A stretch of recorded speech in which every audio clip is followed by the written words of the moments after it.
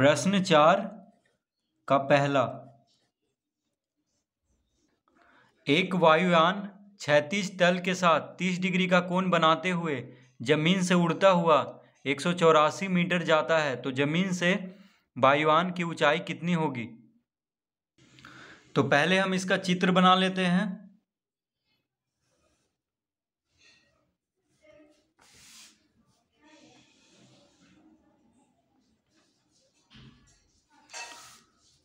तो क्या कह रहा है? एक वायुयान क्षैतिज तल के साथ 30 डिग्री का कोण। देखिए, क्षैतिज तल, मान लेते हैं कि ए बी है क्षैतिज तल। ठीक है? और यहाँ पे है सी तो ए बी क्षैतिज तल है। तो कह रहा है एक वायुयान। देखिए, यहाँ से वायुयान उड़ना शुरू किया। ठीक है? बी से। तो एक वायुयान क्षैतिज तल के साथ 30 डिग्री का कोण बनाते हुए तीस डिग्री का कोण बनाते हुए ज़मीन से उड़ता हुआ। अब देखिए, यहाँ से जम, बी से वायुयान जो उड़ना शुरू किया है। ठीक है? तो तीस डिग्री का कोण बनाते हुए इस तरह से उड़ रहा है वायुयान। ठीक है, यहाँ से। देखिए, बी से जो है वायुयान, इस तरह से उड़ता हुआ सी पे है। तो एक सौ चौरासी मीटर जाता है। यानी इसका दूरी हमें दिया हुआ है, एक सौ चौरासी मीटर। यानी बी से सी तक की दूरी कितना दिया हुआ है? एक सौ चौरासी मीटर। तो जो वायुयान है, वो यहाँ से उड़ना शुरू करता है, ठीक है? तो 30 डिग्री का कोण क्षैतिज तल पे बनाते हुए ज़मीन से उड़ता हुआ एक सौ चौरासी मीटर जाता है। यानी यहाँ तक गया है। सी, अभी कहाँ पे है वायुयान? सी पे है। तो एक सौ चौरासी मीटर है, देखिए, इस तरह से। तो यहाँ से यहाँ तक की दूरी दिया हुआ है एक सौ चौरासी मीटर, ठीक है? तो ज़मीन से वायुयान की ऊंचाई कितनी होगी? यानी क्या पूछ रहा है? ज़मीन से यानी यहाँ से देखिए। ज़मीन तो ए भी क्या है? छैतीस तल है यानी ज़मीन यहाँ पे है। देखिए ये ज़मीन पे है ये रेखा कहाँ पे है? ज़मीन पे। तो यहाँ से यहाँ तक की दूरी पूछ रहा है यानी ज़मीन से। ये तो हो गया तिरछा दूरी इसका। ठीक है जैसे उड़ा है उस, उसके अनुसार ये दूरी दिया हुआ है एक सौ चौरासी मीटर। हमसे पूछ रहा है ये ए सी का दूरी निकालना है, यानी ए सी कितना? ए से सी का दूरी निकालना है, ठीक है? यानी ए सी निकालना है, ज़मीन से, यानी यहाँ से यहाँ तक की दूरी, ए से सी तक की दूरी निकालना है। तो लिखेंगे माना कि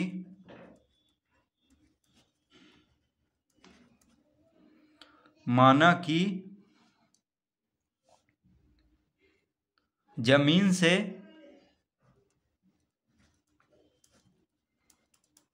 ज़मीन से वायुयान। ज़मीन से वायुयान की ऊंचाई।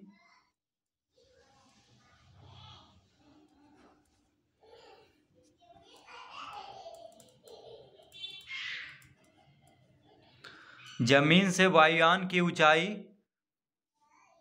हम क्या मान लेंगे कि ज़मीन से वायुयान की ऊंचाई एच मीटर है। क्या है? एच मीटर है।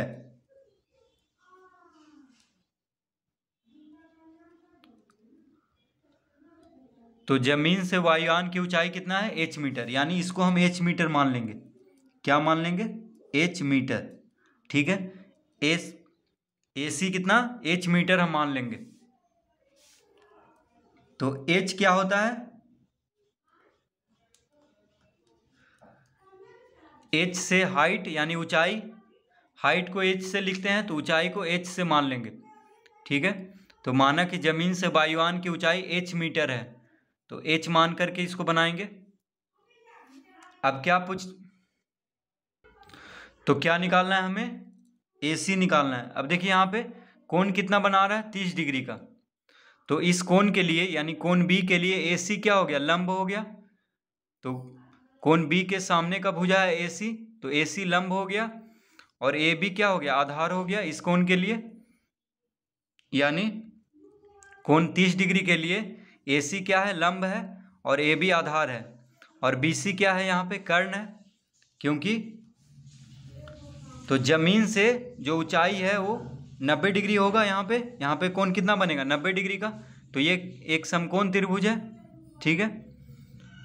तो बी सी क्या हो गया? कर्ण, समकोण के सामने वाला। भुजा को क्या कहते हैं? कर्ण।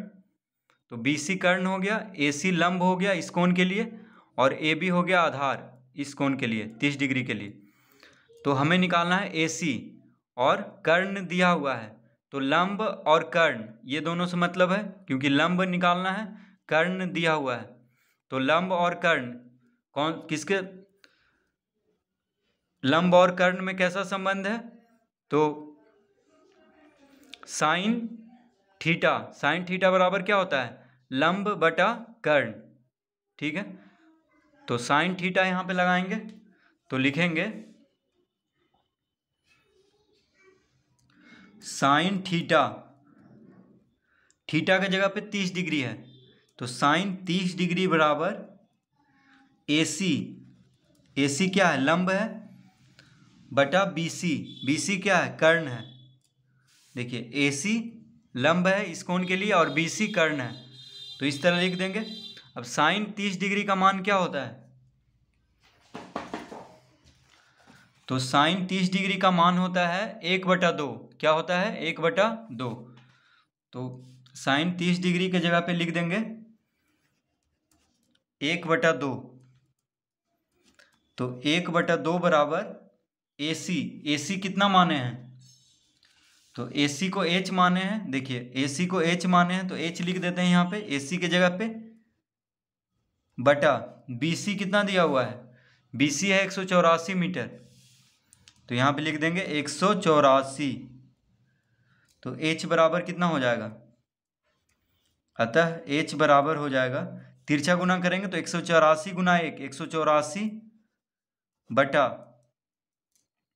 अब एच के साथ दो गुना होगा, तिरछा गुना होता है, इस तरह से जब रहता है तो तो एक सौ चौरासी गुना एक एक सौ चौरासी हो गया, और एच गुना दो, यानी दो एच तो एच के साथ दो गुना होगा तो दो को इधर भेजेंगे तो भाग में हो जाएगा, यानी एच बराबर कितना हो गया, एक सौ चौरासी बटा दो तो इसको काटेंगे तो कितना आ जाएगा, यानी दो नंबर अठारह, दो दूना चार, यानी बानवे एच बराबर बानवे आ गया तो हम क्या माने थे? ज़मीन से वायुयान की ऊंचाई को एच मीटर माने थे।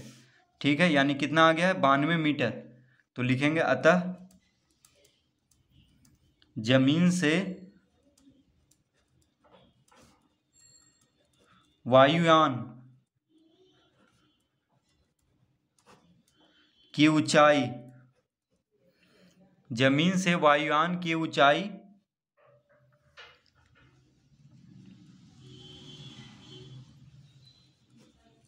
बराबर कितना हो गया? बराबर बानवे मीटर। तो मीटर में आएगा क्योंकि ये मीटर में दिया हुआ है, एक सौ चौरासी मीटर। ठीक है तो ऊंचाई क्या में आएगा? मीटर में ही आएगा। यानी ज़मीन से वायुयान की ऊंचाई कितना है? बानवे मीटर है। तो इस तरह से इसको हल करेंगे।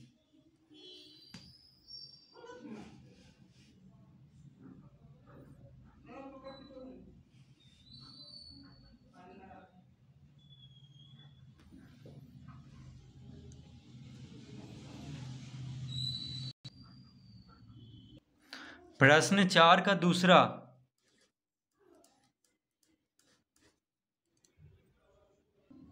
एक पतंग की डोरी 100 मीटर लंबी है। यदि डोरी एक सरल रेखा के रूप में हो एवं भूतल के साथ, थीटा कोण इस प्रकार बनाती होगी? साइन थीटा बराबर आठ बटा पंद्रह। तो भूतल से पतंग की ऊंचाई निकालें। तो पहले हम इसका चित्र बना लेते हैं।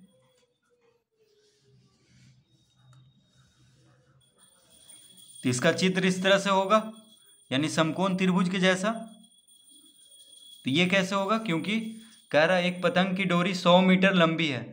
अब देखिए, मान लेते हैं कि बी सी जो है पतंग की डोरी है। यहाँ से पतंग उड़ रहा है। कहाँ से पतंग उड़ रहा है? तो बी से। ठीक है? यहाँ से पतंग उड़ रहा है। तो एक पतंग की डोरी सौ मीटर लंबी है, यानी बी से सी तक की दूरी कितना है? सौ मीटर। तो मान लेते हैं कि बी सी क्या है? पतंग की डोरी है।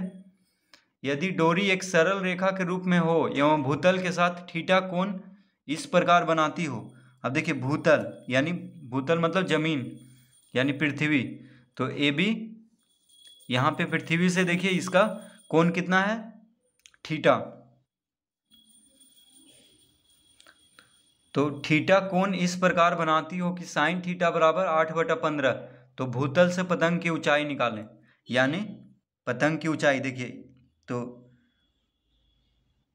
पतंग की ऊंचाई यानी एसी निकालना है। तो देखिए यहाँ से पृथ्वी यहाँ पे है, ठीक है, ये भूतल है।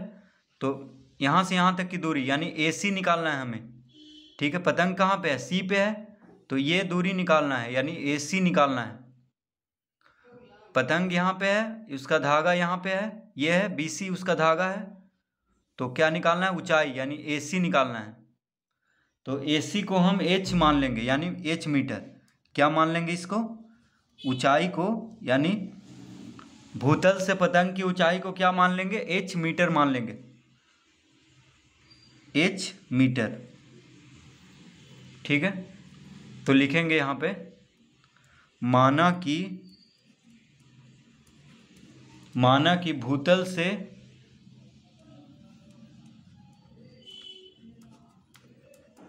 भूतल से पतंग की ऊंचाई।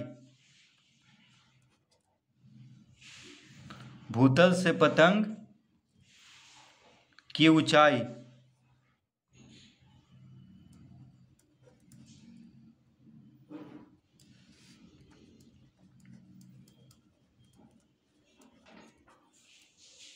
बराबर एच मीटर। तो भूतल से पतंग की ऊंचाई को एच मीटर मान लेंगे। ठीक है? अब क्या दिया हुआ है हमें? तो दिया हुआ है साइन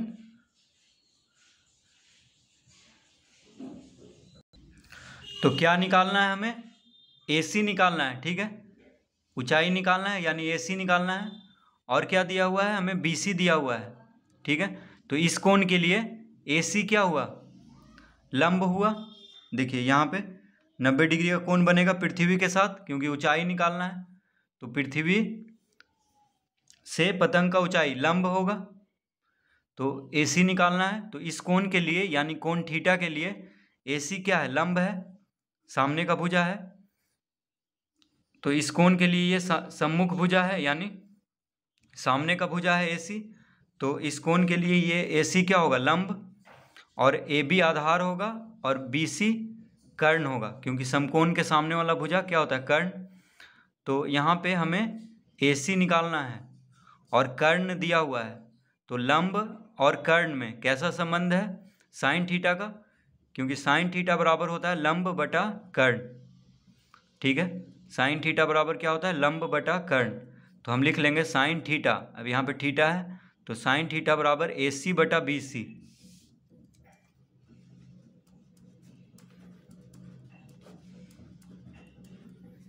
साइन थीटा बराबर ए सी बटा बी सी अब यहाँ पे अब साइन थीटा का मान दिया हुआ है। प्रश्न में देखिए, साइन थीटा बराबर आठ बटा पंद्रह। तो साइन थीटा के जगह पे आठ बटा पंद्रह लिख लेंगे। तो आठ बटा पंद्रह बराबर क्या हो जाएगा? ए सी ए सी को हम एच माने हैं। और बी सी कितना है? सौ है। सौ मीटर है। तो देखिए इसको हम इस तरह लिख सकते हैं क्योंकि साइन थीटा का मान दिया हुआ है। साइन थीटा बराबर दिया हुआ है आठ बटा पंद्रह। ठीक है, प्रश्न में दिया हुआ है साइन थीटा बराबर आठ बटा पंद्रह तो भूतल से पतंग की ऊंचाई निकालें। तो साइन थीटा के जगह पे क्या लिख लेंगे? आठ बटा पंद्रह, और ए सी हमें निकालना है तो ए सी को एच माने हैं। ए सी को एच माने हैं, और बी सी हमें दिया हुआ है सौ मीटर। तो पतंग की डोरी बी सी है ये दिया हुआ है ए सी निकालना है। तो इस तरह लिख लेंगे। अब एच बराबर कितना हो जाएगा? अतः एच बराबर गुना करेंगे तिरछा तो सौ गुना आठ बटा पंद्रह गुना एच हो जाएगा। देखिए, तिरछा गुना होगा तो पंद्रह गुना एच तो एच के साथ पंद्रह गुना में होगा तो पंद्रह को इधर भेजेंगे, यानी बायां से दाएँ तरफ़ तो भाग में हो जाएगा पंद्रह, यानी एच बराबर कितना हो गया? सौ गुना आठ बटा पंद्रह। अब इसको काटेंगे तो पाँच तिया पंद्रह, बीस बचे सौ। पाँतिया पंद्रह, बीस पच्चीस सौ पाँच से दोनों कट रहा है तो कितना आ गया? बीस गुना आठ, यानी एक सौ साठ बटा तीन। देखिए, बीस गुना आठ कितना हो गया? एक सौ साठ बटा तीन। अब इसको भाग देंगे तो कितना आ जाएगा? तो भाग देंगे तो आ जाएगा तीन पचे पंद्रह। देखिए, तीन पचे पंद्रह, एक इधर गया तो दस हो गया। तो तीन तिहाई नौ, फिर एक बचेगा तो दशमलव देंगे तो दस हो जाएगा, फिर तीन तिहाई नौ। यानी तिरपन दशमलव तीन मीटर। तिरपन दशमलव तीन लगभग में होगा, ठीक है? तो एच बराबर कितना आ गया? तिरपन दशमलव तीन। लगभग में होगा, क्योंकि पूरा पूरी तो कट नहीं रहा है। ठीक है? फिर एक आएगा शेष तो तीन से लगाएँगे तो तीन तिहाई नौ। यानी ये लगभग में इसका दूरी होगा, क्योंकि पूरा पूरी तीन से एक सौ साठ तो कटेगा नहीं। तो लिख लेंगे। तो क्या लिख लेंगे? अतः भूतल से भूतल से पतंग की ऊंचाई,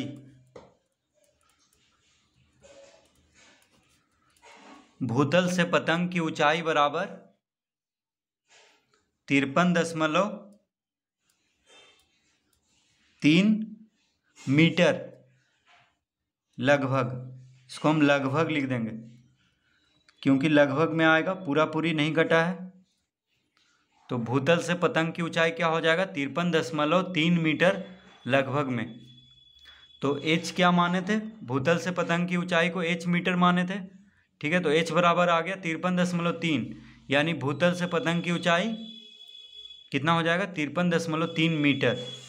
क्योंकि ऊंचाई को हम एच मीटर माने थे तो एच आ गया है। तो इसको मीटर में लिख देंगे, यानी तिरपन दशमलव तीन मीटर लगभग। तो इसका उत्तर